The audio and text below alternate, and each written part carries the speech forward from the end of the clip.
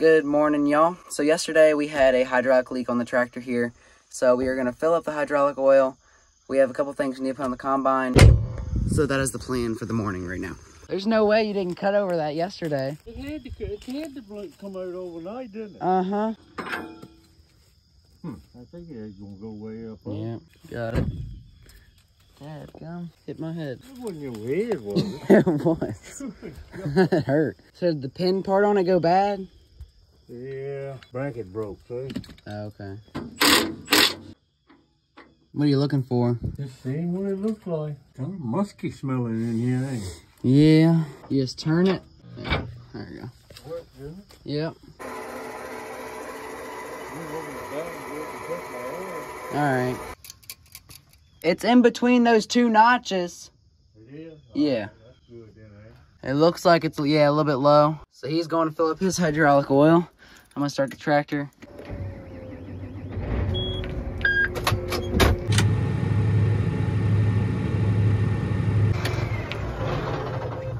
So he's gonna bring the combine over here so we can set off the head. Then once we get everything filled up, we're probably gonna move here in a little bit once my dad gets down here to flag for us in the truck.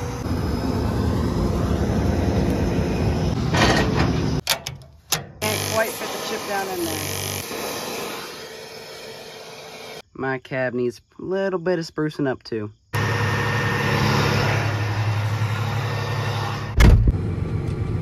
We are heading down the road right now. We're about to get on the main road. One of the tires looks kind of flat, he said, so he's gonna check it real quick. He's Going down the road with a flat tire is definitely not good. Y'all ready?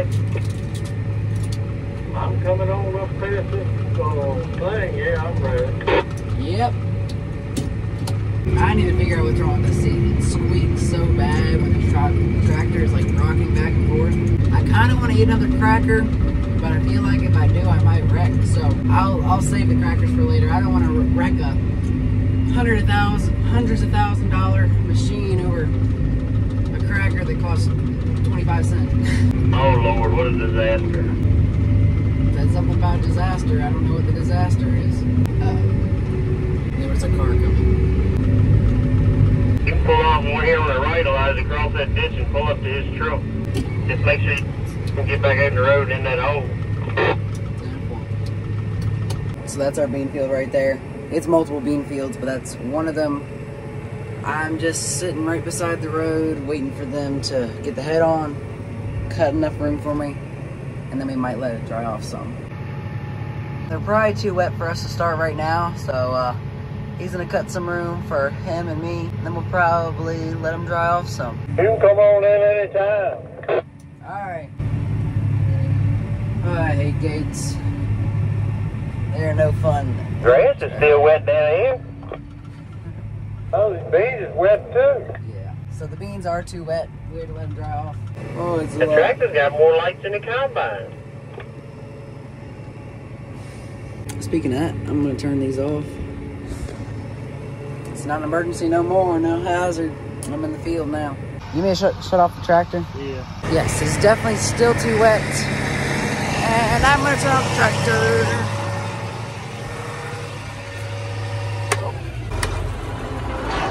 Alright. Is it because they're too wet? Where's it coming from? I don't know where it's coming from. Unless they're coming out underneath somewhere. Unless they're so lighted, I don't know. This is gonna slow the fan down. I don't know. I don't know, but beans, beans is easier to blow out than corn. Still a little bit too soft, aren't they? Because the softer they are, that means they're more wet, right? Yeah. Definitely soft as they can be. Do you want me to follow you around?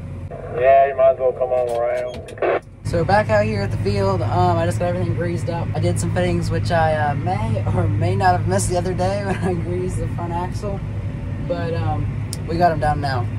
So we're heading around the field right now to go catch up to the combine.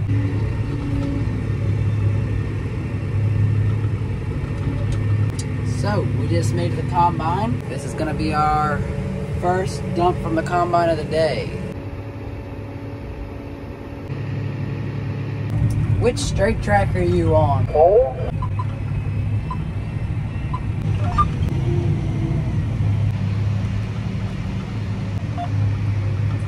Do I still need a little more? I don't know if He was 385 bushels. This stuff must be light as a feather. Huh. So we are heading to the truck right now and we're gonna go dump this load on him. I don't know if I said earlier in the video or not, but the scales haven't been working right this week, so I honestly have no idea what's in it, but it should be plenty for a load for him.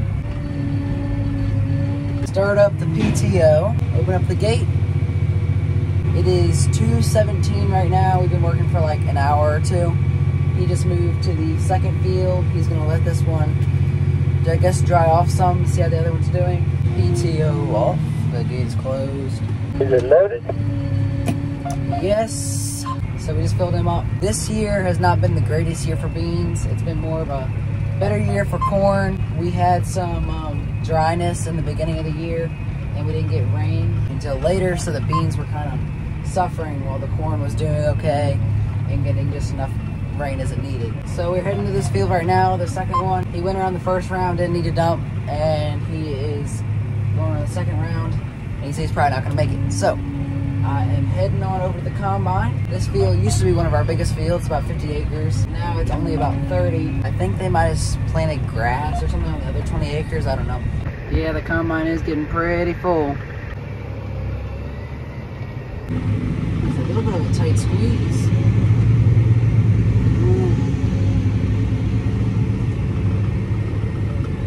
A little bit of a tight squeeze through there.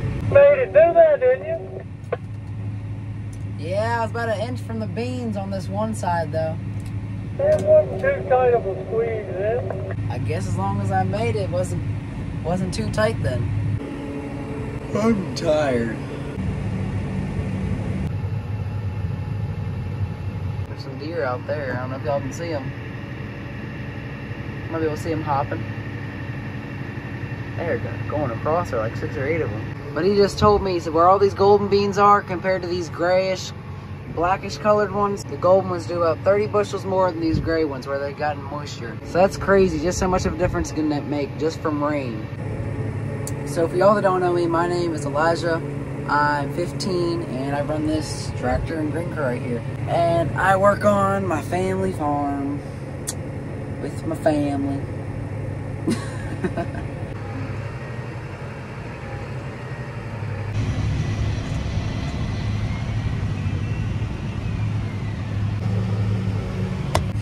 He said that was plenty. He said that was more than enough. So we are heading back to the truck right now. I honestly have no idea if he's back or not because we just dumped on him pretty recently. But these golden beans right here beside me, they're yielding pretty good. We were, what we were just going through was about 70 or 80. He's literally pulling in there right now. Perfect timing, I guess. Yeah, so I just finished dumping on him. Um, I gave him like 41,000, which is like the biggest load I've given him this year. So I'm thinking the test weight must be pretty high. Either that or the scales are just busted. I don't know.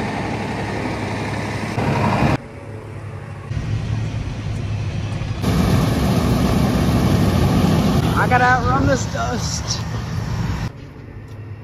Would you ask why I was running? Yeah, dust cloud coming, wasn't? I wasn't getting caught in the dust. I just want to say thank you to everyone who has farmed, who has done any kind of work in dusty environments without a cab because a cab is a lifesaver when there's dust and everything. That would definitely not be fun. That is not, no. So yeah, thank you. For any of y'all that are wondering, the reason I've been wearing um, an AirPod today because I've been listening to a couple sermons and this one was talking about not wasting your life. He was talking about if you could do anything for God and you couldn't fail, what would that be? So I was thinking I could share with y'all one new verse, and that verse would be this, Matthew 6:34.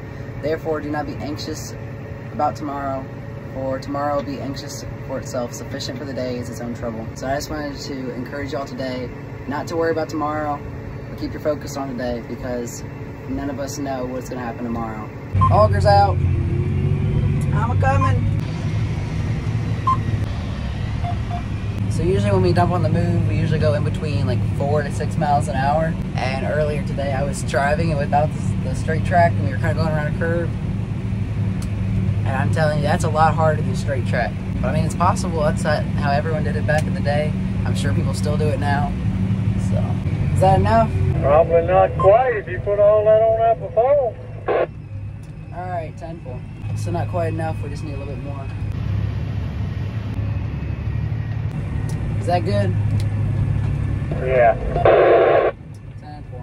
But man, this field is nice. It's like our flattest field, right on a river bottom. Has a few holes, but every field we got got holes, so. there we go. We just got him filled up. We just finished everything over in that field we're just in. We're gonna move over to this field. It is 424, and I mean, we only have like 40 acres or so left, I think. And I mean, I think we should be able to finish tonight. So I just found out we're actually gonna move to this field right here in front of me. So I don't know if he wants me to follow him around or not. You want me to follow you around? Nah. 10 full. So I guess we're good with sitting right here until he comes back around.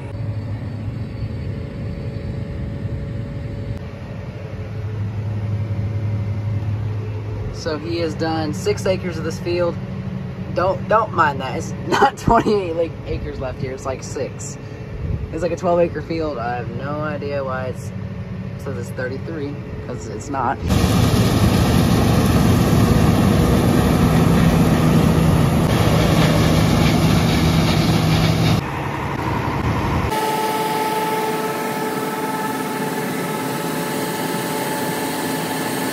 That's enough for a load right now. We're heading back to the truck. So apparently this is going to be the last load of the day. I think the beans are starting to get a little bit tough and we have to blow off the combine real quick. Real quick. Real good because if it rains, then everything's gonna stick to the machine. You get it all that? Yeah, don't raise it up too much. It's pretty high in the back. Tempo. Yep, he's headed out of here. He's gonna unload that and we're gonna blow it off.